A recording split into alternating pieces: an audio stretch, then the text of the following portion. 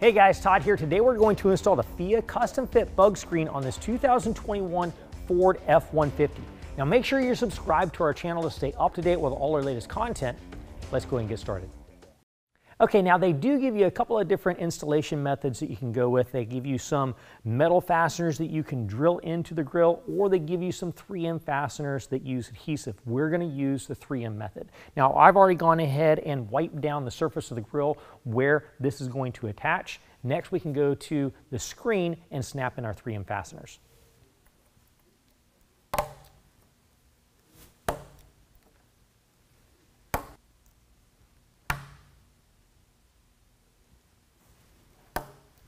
Okay, now that we've got all of our fasteners snapped into place, we're gonna go to the two center at the top. We know that this is the top because we've got our tag right here. And we're gonna go ahead and remove the adhesive protector from these two buttons, and then we're gonna go ahead and line it up to the grill.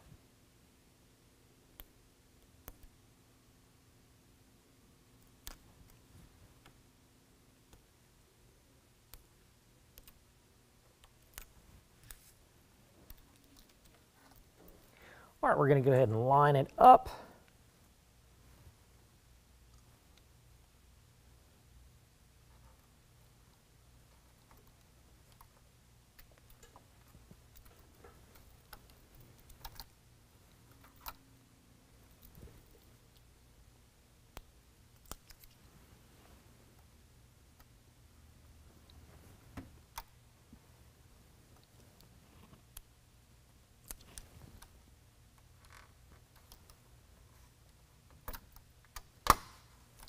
All right, now we're going to go ahead and set the bottom.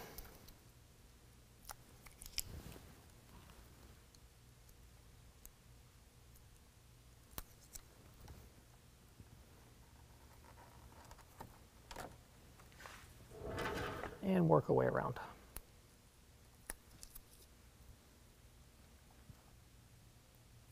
Now, as you're doing this, make sure you do not touch the adhesive or the surface that we've already wiped down with the alcohol.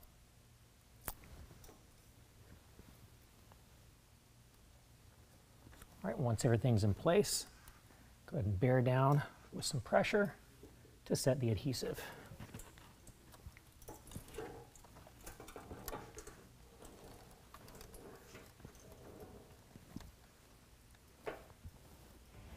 Well, that concludes the installation. If you guys found this video helpful, make sure and give us a thumbs up.